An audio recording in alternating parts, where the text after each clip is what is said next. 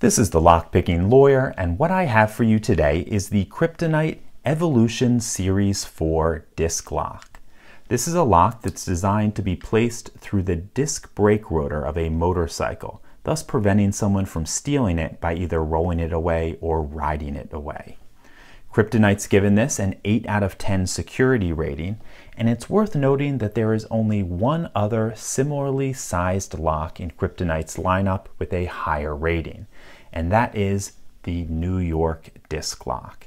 And since these two locks are so similar, it's worth taking a brief moment to see what makes the difference between a 9 out of 10 security rating and an 8 out of 10 security rating. So let's clear this aside.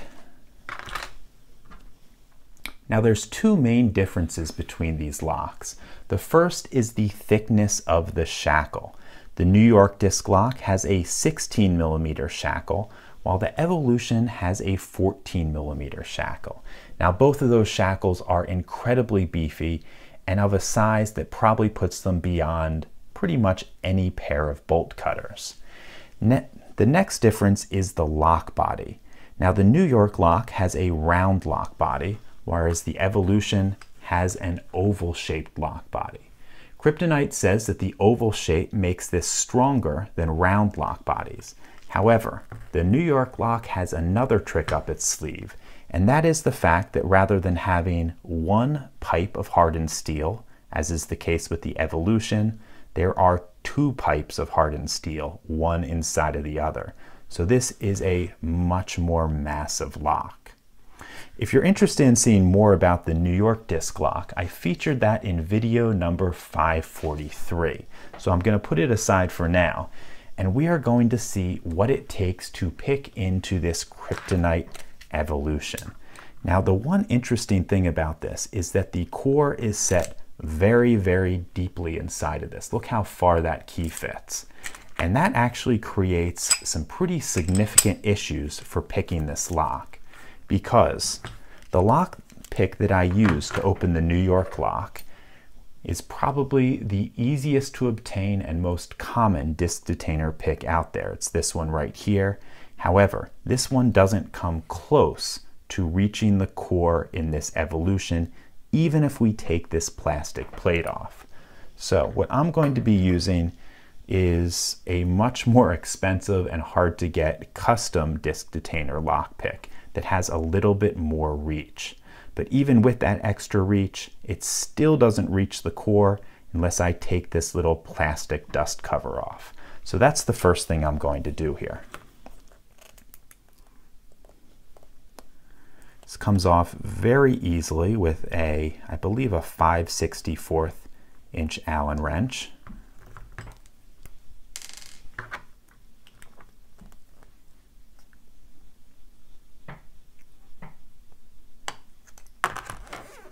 Okay, and now that we have that off, the first step in picking this lock is to rotate all of the discs as far clockwise as they will go. Once we have them in position, I can take our pick, insert it, and try to pick up the first disc, actually the second disc, because the first one is a free-floating spinner. There we go. Okay, I have the tension in place. We tension off of disk one. So I'm looking for disk two now.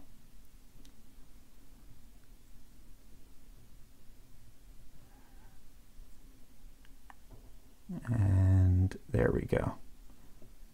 I think I just got a little click out of two. There we go. I think that was two falling into place. Let's look for number three now. Click out of three.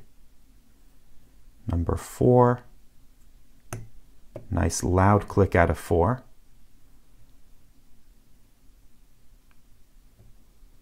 Little click out of five.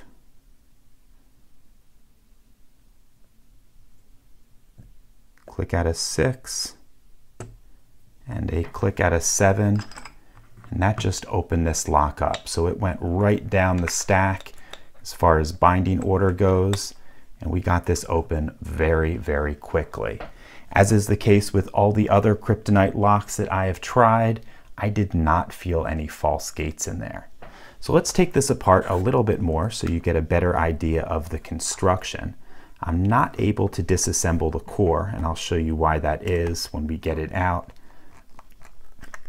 Okay, but here we can see the single steel pipe construction. This pipe is very, very thick. It's going to be a chore to get through with anything other than power tools. Then we have our now opened core right here.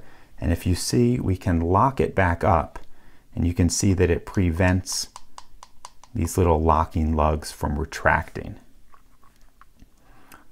Let's push this core out. And if we look on the back, let me zoom in as far as I can, you can see there is a small snap ring in there that holds all of this together. And I have absolutely no idea how I could get that out, and even if I could, how I would get it back in. So I am not going to take the chance of disassembly here. Now the one major disappointment with this lock is the same as my disappointment with the New York locks, and that is that this inner structure is made out of plastic.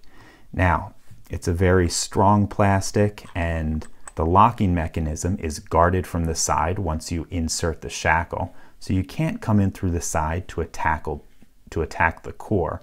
However, there is the potential for a melt attack. I'm not entirely sure if that will work. I am a little bit skeptical of that, but even so, you hate to see plastic in even on a uh, on a step down from the flagship with, which is what we have here on the Evolution. In any case, that's all I have for you on this Kryptonite Evolution Series 4 disc lock. If you do have any questions or comments about it, please put them below. If you like this video and would like to see more like it, please subscribe. And as always, have a nice day. Thank you.